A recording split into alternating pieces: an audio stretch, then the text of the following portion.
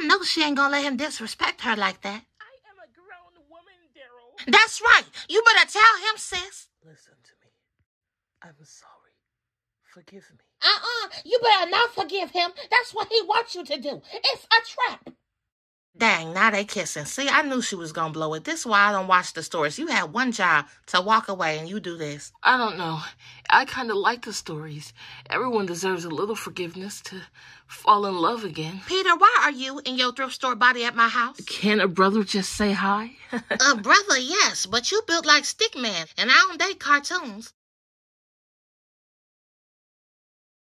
You know, if you give me a chance, we could create our own story. Boy, please, you built like firewood. Claire, I'm back with the milk. Unfortunately, this was the only size they had, so. Look, you said my name five times before you left, and I let you get away with it because I was too distracted by Peter being built like candlesticks. But that's clairvoyant to you, homeless. I'm just gonna put the milk in the refrigerator. Sis, when you gonna put your stuff outside? You don't live here. Wait, we already had milk? Claire, why didn't you tell me? See, that's where you're wrong, sis. I have milk. And that's clairvoyant to you, trespasser. What would it take for us to finally start getting along? For us to have never met.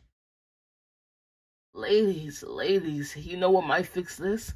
A nice group hug. Peter, who want to group hug somebody with their arms like this? He's sitting over here like this, like he watching the game.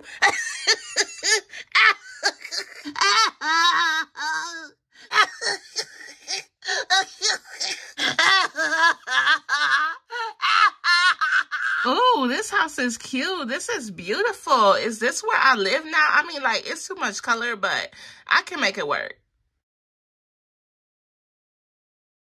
Ma'am, the only way you're gonna make it work is if you work your way up out my house. Who are you? Baby, everybody know me. I'm that new naturalista. Who are you? Mm, brown and petite. Looks like we got some new meat. Hi, my name's Peter. Hi, I'm not new naturalista. I will wave at you, but you don't look like you could wave back with those arms. How you waving like this?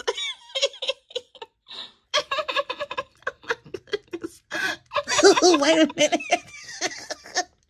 she didn't have to do you like that. Hi, I'm Hi, I'm that new naturalista. And why are you up in my house? Oh, this is your house. Well, I just got here in the mail. Oh, you want a Rané new dolls. Okay, now I see what's going on here. They must have put you here temporarily until Rané figure out what she want to do with you. We Lily dolls. Lily don't really play with us no more, so Rané uses us for content. Um, but her dolls is usually stored on the side. This not your house, boo. But don't you fret, my lady. I have room at my place. Is this pose how you open the door? I get it. Cause he over there built like a doll stand. hey, I know y'all having fun in here, but we just trying to figure out where to go. I need to rest. Hey, my little cocoa powder. My name's Peter. What's your name? Who you calling cocoa powder? Cause this ain't what you want, Lego body.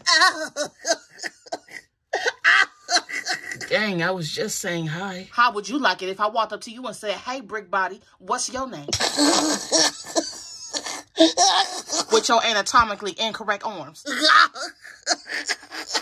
what you looking at me standing like this for? Looking like Geppetto's first project. Look, y'all can stay. I'm better than the show I was watching. What's the difference between them being in the house versus us being in the house? Um, they not homeless. You are. Well, all of you keep the noise down. But sis, the loudest thing in the room is that outfit. It looked like somebody threw you in Jo-Ann's. Girl, the only thing fighting is those clothing patterns. I will call the police. As long as you call them the fashion police. Excuse me, police. Uh, yes, there is a professional clown breaking in our house. oh no, they ain't stole nothing. But I think they trying to get away with our clothes. oh, how hilarious.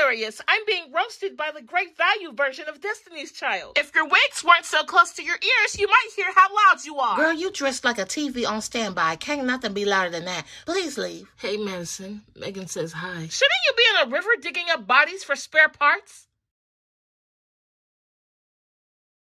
I ain't gonna lie, Manson. That was almost as funny as your pants. almost as funny as that push cart you call a car. Almost as funny as the donation bin you stole those clothes from. If the noise isn't down, I'm calling the police. Now that she's gone, who wants a nice group hug? Peter, you build like Jenga blocks. Don't nobody want to hug you.